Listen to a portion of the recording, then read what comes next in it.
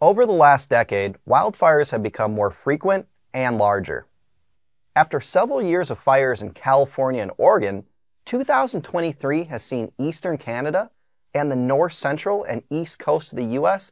blanketed by wildfire smoke. People notice the unpleasant odor the most, but smoke can also cause a scratchy throat, stinging eyes, and in some cases may even be harmful to your health. At Resideo, we are frequently asked, what should I be doing with my HVAC system to improve my indoor air quality? And people also ask, how can I make it smell less?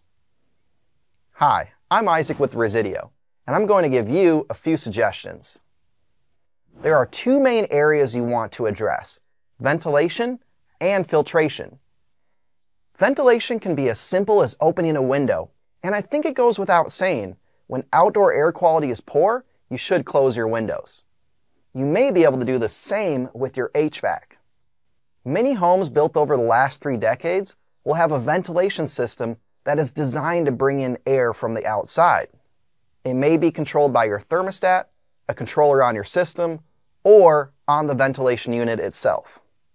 If your ventilation control is at the thermostat, the solution is simple.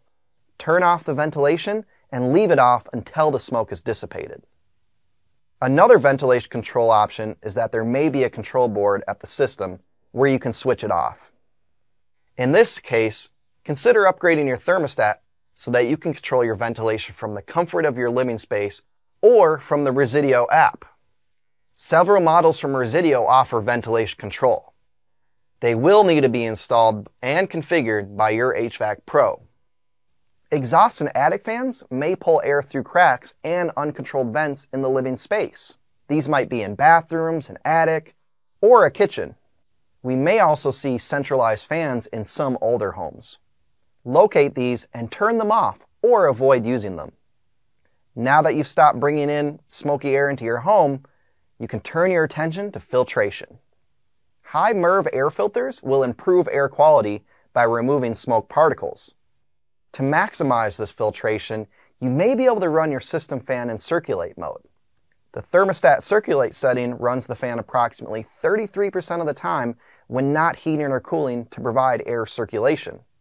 Your thermostat may not have a circulate mode, but the thermostats I listed before have this setting. Your HVAC Pro can advise you about compatibility with your system. Most standard air filters aren't very effective at removing smoke particles, so you may be interested in Resideo's high quality filtration products that will dramatically improve your indoor air quality. Thank you for watching. For more information, visit resideo.com or contact your local HVAC professional.